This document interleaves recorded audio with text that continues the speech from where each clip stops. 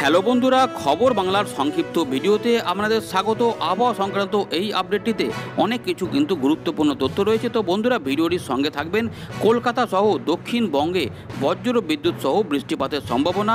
এছাড়া পূর্ব ভারতের রাজ্যগুলিতে ব্যাপক বৃষ্টিপাতের সম্ভাবনা রয়েছে। সতর্কতা জারি করল মৌসুম বিভাগ।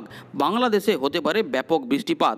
এর সঙ্গে আমরা জানব শীতকালের আবহাওয়াটা কেমন হতে পারে, শীতকাল কবে থেকে পড়তে পারে বা গতি প্রকৃতি কোন দিকে যাচ্ছে।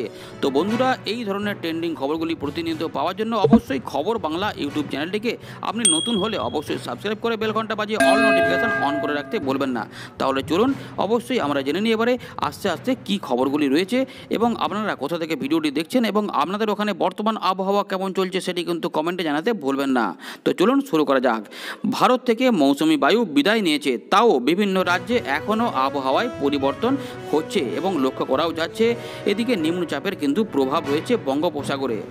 আইএমডি সতর্ক সতর্ক বার্তা জারি করে দিয়েছে। বেশ কয়েকটি রাজ্যে আজ এবং আগামীকাল ভারী বৃষ্টির পূর্বাভাস জারি করেছে আবহাওয়া দপ্তর।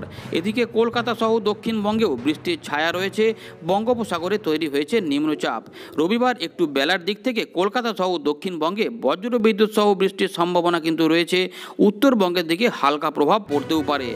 এদিকে অসম আর মেঘালয়, নাগাল্যান্ড, মণিপুর, মিজোরাম এবং ত্রিপুরায় প্রবল বৃষ্টির পূর্বাভাস জারি করেছে দিল্লির মৌসুম বিভাগ।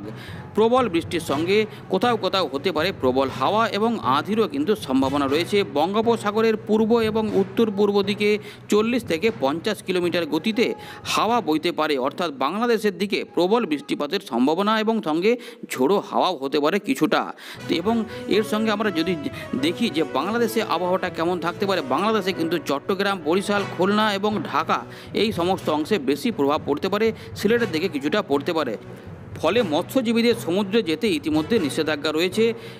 এদিকে ঘূর্ণাবর্ত তামিলনাড়ু উপকূল এবং বাংলার দক্ষিণ পশ্চিমে সক্রিয় রয়েছে। দ্বিতীয় ঘূর্ণাবর্তের প্রভাব দক্ষিণ পূর্ব আরব সাগরে কেরলের নিচে মধ্যস্তরে অবস্থিত রয়েছে। তাই দক্ষিণ ভারতের কিছু কিছু অংশে বৃষ্টিপাতের কিন্তু এখনও প্রবল সম্ভাবনা রয়েছে। এবারে আমরা জানব শীতের আবহাওয়াটা। এদিকে মধ্যপ্রদেশে ইতিমধ্যেই ঠান্ডার প্রভাব পড়তে শুরু করে দিয়েছে। শ্রীনগরে তাপমাত্রা জিরো ডিগ্রি সেলসিয়াসের কাছে পৌঁছে যাওয়ায় সিধে উত্তর থেকে ঠান্ডা হাওয়া দেশের মধ্যে ঢুকে পড়ছে। দেওয়ালির পর থেকে দ্রুত ঠান্ডা লাগা শুরু হবে, এমনটাই কিন্তু মনে করছে আবহাওয়া দপ্তর। এদিকে উত্তরপ্রদেশেও নভেম্বর থেকে আবহাওয়ায় বদল আসবে এমনটাই কিন্তু জানা যাচ্ছে। শৈতের অনুভূতি এবার শুরু হবে। মৌসুম বিভাগ জানিয়েছে, তাপমাত্রা বারো থেকে পনেরো ডিগ্রি সেলসিয়াসের মধ্যে থাকবে।